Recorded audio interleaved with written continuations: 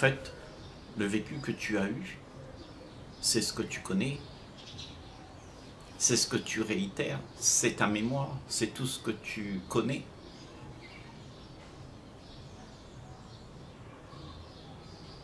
Tout ce que tu as fait, tout ce que tu as dit, tout ce que tu as entrepris. Aujourd'hui, ça, c'est ce qu'on appelle le karma. Bon ou mauvais. Tu récoltes tout ce que tu as semé.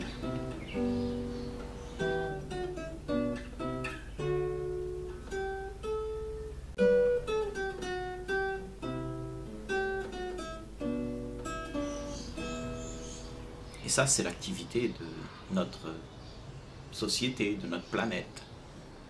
On vit comme ça, on récolte ce que l'on a semé. Mais toujours, ça reste toujours des choses qui ont été semées, qui ont été faites, qui ont été fabriquées. Et ce n'est pas une réalité. La réalité, elle est, la réalité, est tout autre.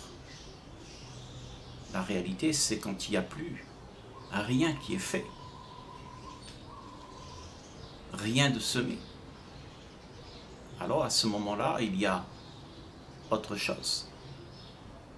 On est face à quelque chose qui n'a rien à voir avec ce que le passé fabrique, ce que la mémoire fabrique. Et là, il y a une grande liberté. Parce que tu n'es plus dans la production de ce que tu sais. Parce que ce que tu sais est limité. Ça n'a rien à voir avec ce qui est profond, éternel, immuable. Ce que tu sais, c'est matériel. C'est ce que tu as acquis, c'est ce que tu as gagné tout au cours de ton existence. Tes idées, tes désirs, tout ce que tu as pu amasser comme bien matériel. Ça, ça devient pour toi quelque chose qui doit être géré. Et tu vas le gérer. Ce, sont, ce seront des situations qui vont venir à toi et tu vas devoir gérer tout ça. Et souvent, ça se passe dans la souffrance. Parce qu'il y a des choses qu'on a semées et qu'on ne veut pas récolter. Mais c'est là. Et tu te vois obligé de subir. Parce que tu subis ce que tu as fabriqué. On subit le monde dans lequel on est parce que c'est nous qui l'avons fait. Nous avons fait ce monde et ce monde, tout ce qui se passe dans ce monde, toutes les interactions qui se passent, c'est ce que nous avons mis en place.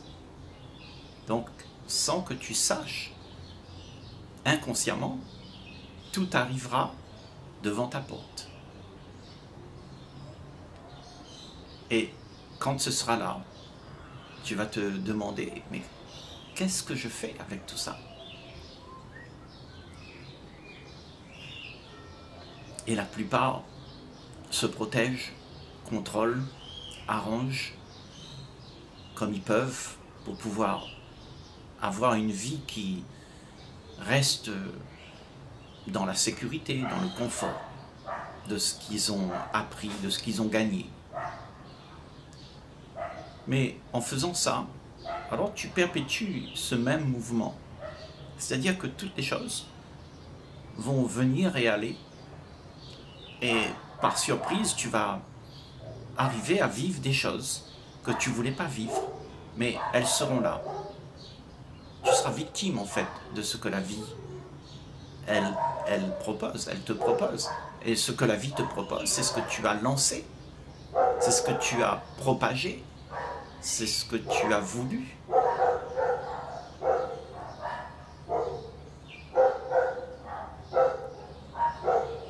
Et tout ce que tu veux, c'est ta compulsion. Parce que tu cherches, à travers la compulsion, de trouver un peu de bonheur immédiat. Et ce bonheur immédiat, il se fait dans l'inconscience. Parce que tu es prêt à vendre ta liberté pour avoir un peu de plaisir. Tu n'es plus libre. Tu es dépendant du plaisir que tu vas avoir. Et tu en veux encore toujours plus de ce plaisir. Parce que tu crois que dans ce plaisir, il y a un répit? Il y a un répit à toutes les situations que tu, subis. Donc tu oublies à ce moment-là, juste ce petit moment, tu oublies tous les problèmes. Puisque tu t'es donné du plaisir. Tu t'es donné une sorte de distraction pour ne pas voir vraiment ce qui t'arrive. Donc tu ne vois pratiquement jamais ce qui t'arrive. Tu ne veux même pas voir. Parce que tu subis. Tu veux juste fuir tout ça. Et ta seule fuite, c'est de te distraire, de trouver ce plaisir. Mais le plaisir, tu sais, c'est éphémère. Tu l'as maintenant. Instantanément, tu as du plaisir, un peu de réconfort à toute cette vie qui, qui vient sur toi tout le temps. Et puis, il faut encore et encore et encore trouver ce plaisir. Tu t'adonnes donc toute ta vie à te distraire. Parce que, en fait, la réalité, c'est ce qu'il y a. Et comme tu ne sais pas quoi faire avec cette réalité, alors tu cherches quelque chose qui peut te faire évader de ça. Tu cherches à éradiquer cette réalité. Mais tant que tu l'as pas vue en face, alors elle va toujours venir te titiller.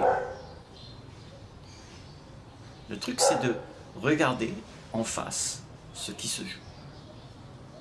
Et quand tu vois vraiment, quand tu acceptes de voir, tu acceptes d'accueillir ce qui est bon, ce qui n'est pas bon.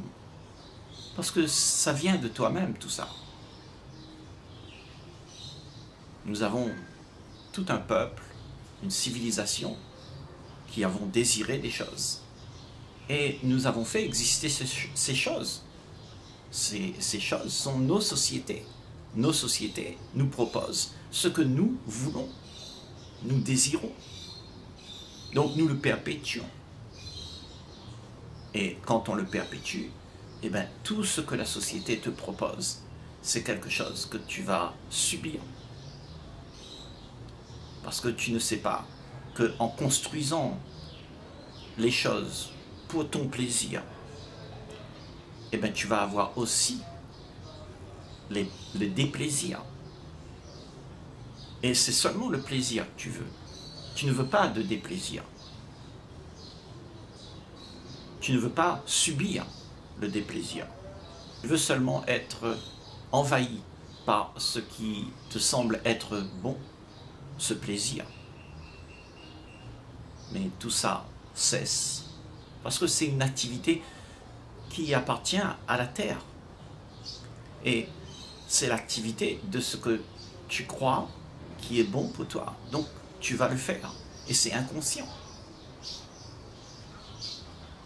La seule activité que tu peux faire, parce que il faudra, il faudra que tu te poses la question, comment ça se fait qu'on en soit rendu à là? C'est pas comment éviter, comment euh, éradiquer ce qui arrive. C'est surtout de savoir pourquoi on en est arrivé à là. Toi, en tant qu'être humain, pourquoi tu vis comme ça? Qu'est-ce que c'est cette vie? Est-ce que ça, c'est la vie? Ou est-ce que ça, c'est pas une fuite plutôt? C'est pas quelque chose que tu essayes de, de faire en sorte que ça n'arrive pas? Que tu puisses contrôler, tu puisses arranger? Donc la plupart d'entre nous, on montre que ce qui est agréable, que ce qui nous permet de rester dans la zone de confort. Mais cette zone de confort, elle est envahie aussi par le déplaisir, par le mal-être.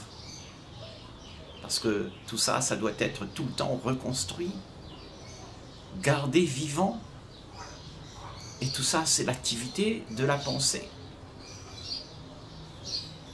Donc tout ce que tu peux subir en tant que bien, en tant que mal, c'est une illusion. Il faut que tu regardes ce que la vie elle-même, elle est, mais pas ce que la vie te propose. Parce que ce que tu es, c'est l'émergence de la vie. Et ce que tu es émane la vie. Et si tu ne crées pas dans le monde cette émergence, où il n'y a pas de lendemain, il n'y a rien à attendre en retour, c'est gratuit, tu donnes gratuitement. Alors ça veut dire que tu ne fais plus rien pour attendre que quelque chose arrive. Ça veut dire que tu te libères en fait de tout ce que tu fabriques avec ton désir. Parce que tu ne désires plus. Tu aimes inconditionnellement. Tu n'attends rien. Tu ne demandes rien. Ça veut dire que tu restes en paix. Ça veut dire que là, tout ce qui arrive, tout ce qui te retournera vers toi, c'est juste ce que tu as lancé. Et ce que tu lances, c'est la bonté, la gratuité, la joie, la paix, l'amour. Et ça, ça ne peut pas te faire du mal ni du bien. Ça fait que toutes les choses sont ce qu'elles sont. Ce que tu es n'est pas celui qui va chercher soit le bien, soit le mal. Celui que tu es, c'est juste cette émergence, l'émergence de ce qui est là, de ce qui est ni bien ni mal, ce qui est immuable, qui ne cesse jamais d'exister, cette éternité que tu es, n'a pas de commencement et n'a pas de fin. Et donc là-dedans, il y a un courant constant qui n'est ni bien ni mal, et quand tu laisses ça se frayer un chemin à travers tout ce que tu crois être bon ou pas bon, tu te dégages de cette envie de que tu es quelque chose pour te donner du bonheur. Alors cette émergence, elle crée l'ordre, l'ordre dans ta vie. Tu n'es plus embêté avec tout ce que tu as construit, parce que tu ne construis plus rien. Tu ne fais rien pour arranger les choses. Tu ne fais rien pour arranger la situation qui vient vers toi et qui te donne du fil à retordre. Tu laisses les choses être. C'est parce qu'on fait toujours quelque chose que les choses se perpétuent et elles s'amplifient. L'action que tu vas faire pour te défendre, ce sera une action qui va créer chez l'autre une réaction. Et tout le temps, quand à chaque fois qu'il y a une réaction, alors il y a toujours un effet. Là, on est en train de dire, arrête de semer, arrête de croire qu'il y a quelque chose à atteindre pour que tu puisses avoir cette joie. Parce que cette joie, elle est seulement quand tu cesses de faire tout ça et que tu comprends qu'il n'y a que la vie qui est là, et cette vie, elle est en toi, et elle veut juste s'exprimer. Et cette vie est l'ordre, l'harmonie, et dans les relations, il n'y a plus de rivalité. Il y a juste l'union. On se rencontre. On se rencontre là où on est, pas là où on aimerait. La rencontre, elle est instantanée. Et puis, oublié. Il n'y a pas de demain, il n'y a pas d'hier dedans. Tout se fait d'instant en instant. Et là, il n'y a pas de problème. C'est quand on commence à garder, on trouve du plaisir dans cette relation, qu'on veut la garder. Et quand tu veux garder, c'est quelque chose que tu vas être dépendant. Et cette dépendance fera que tu es dans l'attente, que ce que tu veux va venir. Et alors tu n'es pas celui qui aime, tu es celui qui attend. Donc la solution, elle, sera toujours dans le fait que tu puisses être toi-même le vecteur de ce que la vie propose. Et la vie propose ta joie, ta paix, ton amour. Parce que c'est tout ça qui passe à travers toi. Et si tu ne manifestes pas ça, alors tu seras dans l'attente. Tu es celui qui veut être aimé. Et celui qui veut être aimé, il est très embêté parce qu'il est dépendant de celui qui va l'aimer. Et tu, tu seras toujours l'esclave de quelqu'un. Parce qu'il te donne. Tu es dépendant. Donc, pour ne plus faire de karma, ne plus vivre ce que tu ne veux pas vivre, alors il faut que tu cesses de créer ce que tu veux. Parce que ce que tu veux, ce sera ton karma. Ce sera la vie que tu vas subir. La liberté d'esprit, c'est de ne pas créer des situations où tu seras enfermé dedans. Que tu crées une situation où tu trouves du confort, tu es dans une prison dorée, sans même t'en apercevoir. Voilà le problème. Et celui qui ne remarque pas ça, eh bien, il s'enfonce encore plus dedans. Et puis au bout d'un moment, il s'aperçoit qu'il est en prison. Il veut s'échapper. Mais il y a trop de choses qui ont été faites. Trop de concessions, trop de d'histoires, trop d'attaches. Donc on fait semblant d'être heureux. Et ça devient la routine. ce que nous vivons devient une routine que nous ne voulons pas perdre. Parce que cette routine est quelque part réconfortante. Parce que tu n'as pas à subir la liberté. Parce que la liberté te fait peur maintenant. Parce que ce que tu connais, c'est ta zone de confort. Et très peu de gens veulent cette liberté. La liberté de ne pouvoir rien faire.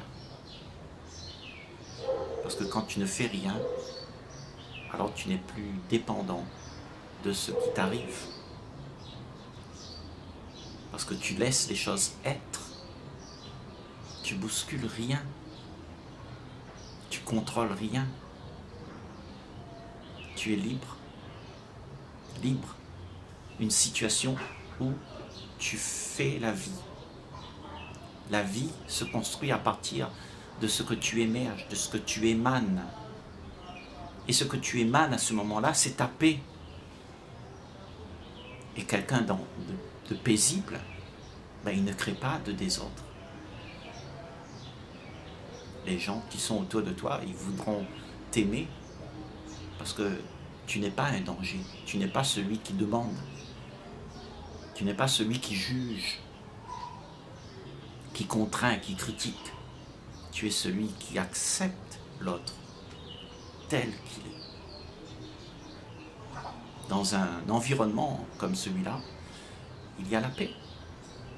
Il n'y a pas de discorde. Il y a juste la paix, où le monde est accepté. Et parce que le monde est accepté, et parce que toi, pour accepter ce monde, il faut que tu t'acceptes accepte ce que tu es comme tu es, pas ce que tu aimerais. Alors à ce moment-là, il y a peut-être un changement dans l'air qui pourrait se produire. mais n'attends rien. Laisse-toi être ce que tu es, sans rien attendre, sans rien demander.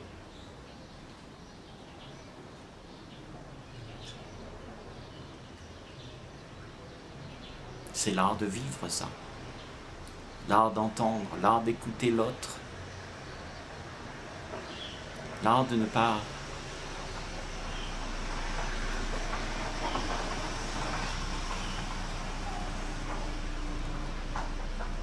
l'art de ne pas rendre les choses difficiles. Ça veut dire que tu lâches tout. Tu ne veux rien. Tu n'attends rien. Tu ne demandes rien. Tu es là. C'est une présence. Cette présence, elle est au-delà de ce qui est bon ou pas bon, de ce que tu aimes ou que tu aimes pas. Cette présence, elle voit tout ça, et parce qu'elle voit tout ça, cette présence crée l'ordre.